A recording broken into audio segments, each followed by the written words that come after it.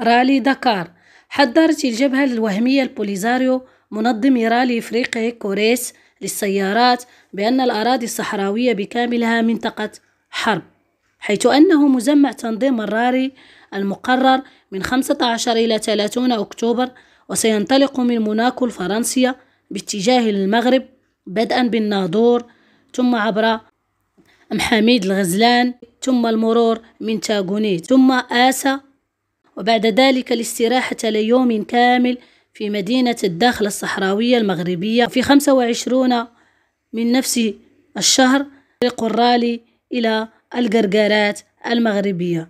ثم بعد ذلك إلى دولة موريتانيا لحط السباق بعاصمة السنغال دكار.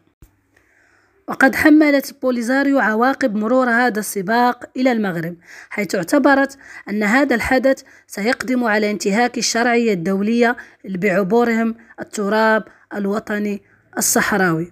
وللإشارة فالمغرب في حقيقة الأمر يسيطر على أزيد من 80% من التراب الصحراوي حيث تقترح المملكة المغربية خطة الحكم الذاتي للصحراء تحت السيادة الكاملة للمملكة المغربية. وهو الأمر الذي زكته مجموعة من الدول الإفريقية والدول الأوروبية. فيما تدعو جبهة البوليزاريو إلى إجراء استفتاء لتقرير المصير برعاية الأمم المتحدة. وكرد فعل على هذه التظاهرة الرياضية التي تبين على قوة المغرب الاقتصادي والسياسي والدبلوماسي أنها نشرت بيان في وكالة الأنباء الصحراوية تؤكد فيه استخدام جميع الوسائل المشروعة والرد بحزم وعزم على أي أعمال تهدف إلى المساس بسيادتها وسلامتها الإقليمية.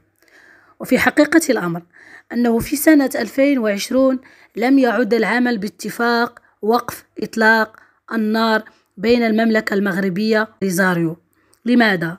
لأن القوات المسلحة الملكية تم نشرها في أقصى جنوب الإقليم المتنازع عليه لطرد الانفصاليين الذين قطعوا الطريق الغير القانوني على الشاحنات المغربية عند معبر قرقرات المتجهة نحو موريتانيا وقد أعلنت البوليزاريو الوهمية أنها في حالة حرب للدفاع عن النفس وأردفت قائلة في بيانها أن كامل أراضي الجمهورية الصحراوية هي منطقة بما في ذلك مجالها البري والبحري والجوي والرالي سيسلك هذا الطريق نفسه وأنها تحمل الاحتلال المغربي المسؤولية الكاملة عن العواقب التي قد تنجم عن استفزازاتها المستمرة. لاحظوا لاحظوا الصياغة التي تسوغ بها البوليزاريو هذا البيان وتعتبر المغرب أنه بلد محتل وفي حقيقة الأمر أنه بلد الملكية. ويأتي هذا البيان تقريبا أسبوعا على زيارة المبعوث الأممي للصحراء الغربية بوليزاريو الوهمية ستيفان دي مستورا الذي التقى مؤخرا بإبراهيم غالي في تندوف بالجزائر في إطار جولته الثانية في المنطقة.